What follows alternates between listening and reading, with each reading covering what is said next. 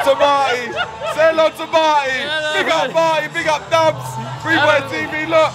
Hello people, that's the worst six minutes of my life, I can't believe it. Unbelievable, man. I'm telling you. But we're still there, We're we still there. We're still there. Three more games to go now. But the worst thing is I got cut my holiday shook. we might win it.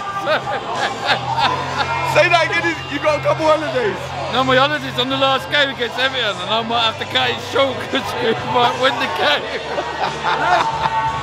He's, knowing him, he's gonna cut it short. Be on that, be on that pitch anyway, I'm going to be on that pitch Oh, mate. Oh, mate. One way or another, I'm Is going it, is to be alright? No, just, just declare it, yeah? Let all the Arsenal fans know. Will it be alright to run on the pitch if No, we win the league? no. Will it be alright? No.